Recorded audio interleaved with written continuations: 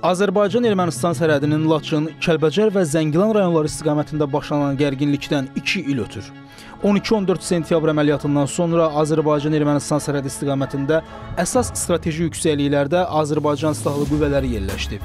Ordumuzun cavab əmləsi zamanı düşmənin 53 döyüş mövqeyi məhv edildi. Xeyli strateji yüksəklik isə nəzarətə götürüldü. Düşmənin xeyli sayda hərbi texnikası, milyard dollardan artıq dəyəri olan raketləri və rəsmi məlumatlara görə 224, əslində isə 400-ə yaxın canlı qüvvəsi, çoxlu sayda hərbi obyekti və onlarla postlar darmadağın edildi. Yüzlərlə hərbiçisi yaralandı. Azərbaycanın bu cavablarından sonra Ermənistan növbəti dəfə sarsıdıcı zərbə almışdı. Bu hərbi toqquşma Ermənistanda böyük təşviş və ruh düşkünlüyünə səbəb oldu. Ermənistanın təxribat törətməkdə məqsədi burada beynəlxalq havadarlarını münaqişəyə cəlb etmək, revanşist siyasətlə mövcud vəziyyəti öz xeyrinə dəyişmək idi. Bəzi ekspertlər bu baş verənləri 2020-ci il iyulun 12-sində Azərbaycan-Ermənistan dövlət sərhədində Tovuz rayonu istiqamətində Ermənistanın növbəti təxribatı nəticəsində baş verən qarşıdurma ilə də uyğunlaşdırırlar. Və bu qənaətə gəlinir ki, Azərbaycan növbəti dəfə öz təhlükəsizliyinin təmin olunması üçün adekvat addımlar atmaq məcburiyyətində qaldı. Politoloqların fikrincə Nikol Paşinyan hökuməti sərhədli miqyaslı hərbi təxribat törətməkdə ümid edirdi ki, beynəlxalq birliyin diqqətini cəlb edəcək.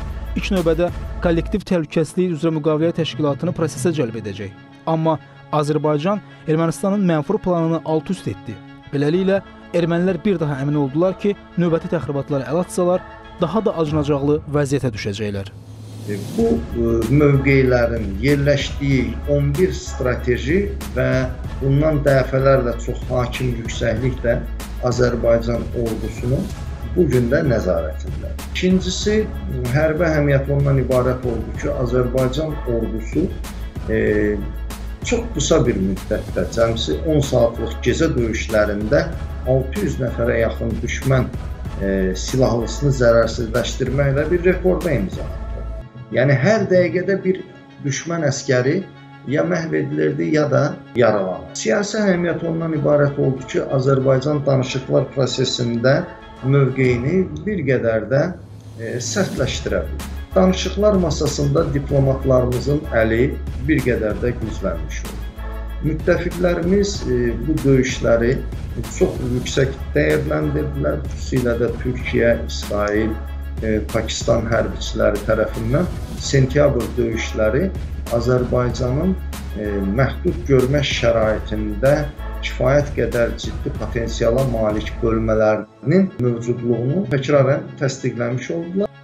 Təəssüf ki, ermənilərin bu təxribatı nəticəsində 80-ə yaxın əskər və zabitimiz şəhidlik zirvəsinə yüksəldi. Şəhidlərimizin qisası isə artıqlaması ilə alındı və onların qanı yerdə qalmadı. Onlar öz qəhrəmanlığını igidliyini, şücaətini bir daha düşmənə və bütün dünyaya nümayiş etdirdilər. Azərbaycan əskəri bir daha göstərdi ki, vətəninə qarşı istənilən addımın, təxribatın qarşısını almaq qüdrətindədir.